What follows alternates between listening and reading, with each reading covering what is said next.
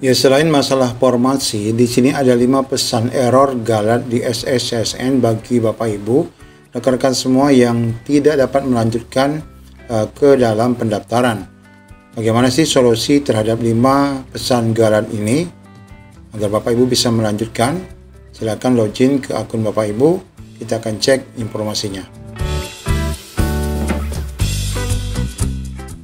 Nah, tampilan yang paling penting dari laman SSSN itu adalah tampilan di saat kita dapat memilih formasi ya.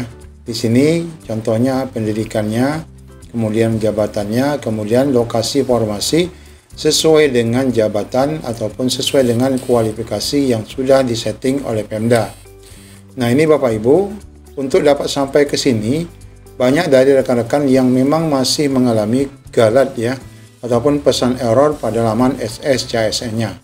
Nah, di sini kita akan tunjukkan di antaranya ada lima pesan galat dan apa sih solusi untuk dapat menindaklanjuti dari pesan galat itu.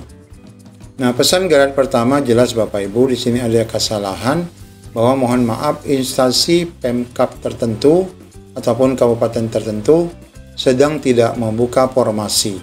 Anda tidak dapat melanjutkan pendaftaran atau silakan hubungi instansi terkait. Ini jelas Bapak Ibu ya bagi Bapak Ibu yang mendapati Pemdanya tidak membuka pendaftaran P3K 2024. Nah ini sangat naif sekali di mana Pemdanya tidak mempedulikan keadaan honorer ya. Nah tentu seperti ini tidak ada solusi ya sampai Pemda membuka formasi. Kemudian pesan galat kedua, kesalahan Anda tidak terdata pada pendataan non-ASN BKN anda diperkenankan untuk mendaftar pada tahap 2. Ini jelas ya bagi Bapak Ibu yang tidak masuk pada kategori uh, eh, 1 dan 2 serta 3. Satu itu apa? Yaitu P1 dan bidan, kemudian yang kedua adalah THK 2, kemudian yang ketiga adalah yang masuk dalam database BKN.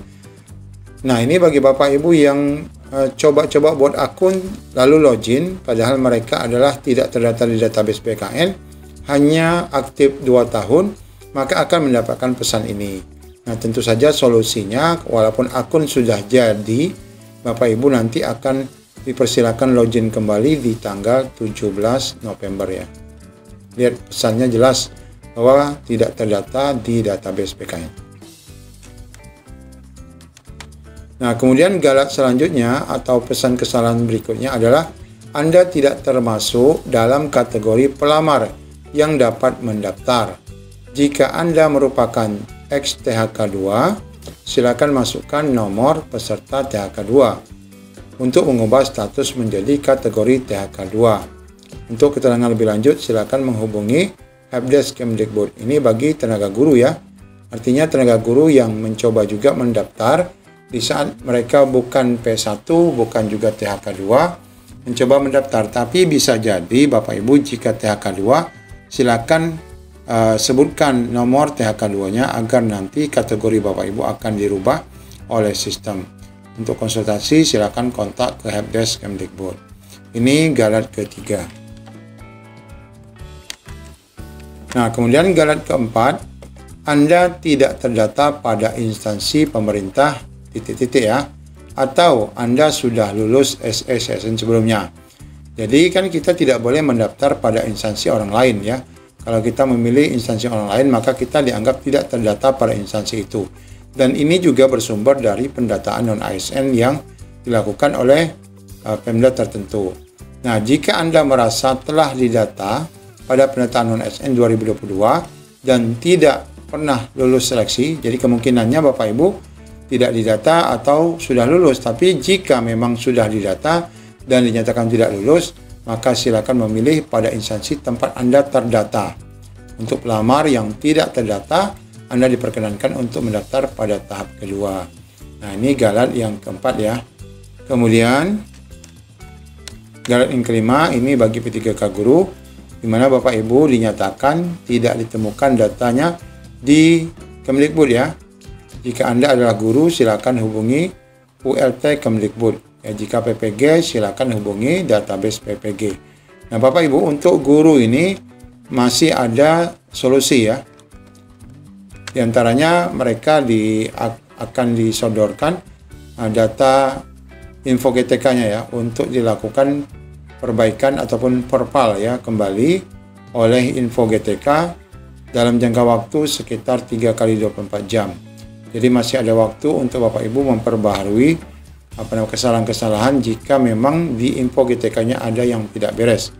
Nah, ini tentu saja pesan seperti ini akan mengganggu sehingga Bapak Ibu tidak dapat melanjutkan pada pendaftaran P3K 2024 khususnya yang gelombang 1. Tapi dari pesan-pesan yang disampaikan tadi jelas ya. Di sini nah ini jelas ini tidak bisa. Kemudian kalau ini jelas Bapak Ibu nanti ikut di tahap 2 di tanggal 17. Kalau seperti ini kita masih memungkinkan jika memang kita adalah pelamar yang sebenarnya terdata di THK 2 ya. Nah, kemudian yang ini kita masih memungkinkan jika sebenarnya kita pernah pendataan atau kita tidak pernah lulus. Nah, ini dinyatakan lulus. Ini masih memungkinkan. Kemudian ini juga masih menunggu propagasi uh, penyesuaian data info GTK karena waktu uh, yang diberikan kepada kita ini masih cukup uh, panjang ya. Sekarang adalah tanggal 5 ya, tanggal 5 Oktober 2024 baru 5 hari. Nah, di sini nanti akan uh, masih sampai tanggal 20. Jadi masih ada sekitar 15 hari lagi Bapak Ibu masih bisa untuk mencoba login dan mendapati perbaikan-perbaikan di dalam sistem SSSN. Galat tadi tentu saja akan menjadi hilang jika memang solusi-solusi yang sudah kita jelaskan tadi dapat uh, Bapak Ibu lakukan di dalam akun Bapak Ibu. Demikian informasi yang dapat kami bagikan. Semoga bermanfaat. Assalamualaikum warahmatullahi wabarakatuh.